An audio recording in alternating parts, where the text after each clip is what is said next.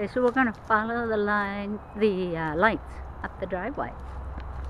So it's, uh, well, uh, we have one here at the gate, right, gate.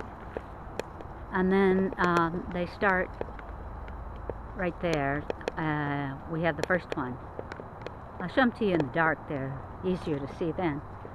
And here's another. And uh, so they're uh, like about 15 feet apart. Here's one. See it?